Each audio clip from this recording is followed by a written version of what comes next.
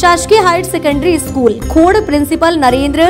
रासमेरिया की ओर से 26 जनवरी गणतंत्र दिवस की सभी देश एवं प्रदेश वासियों जिले वासियों को हार्दिक शुभकामनाएं एवं बधाई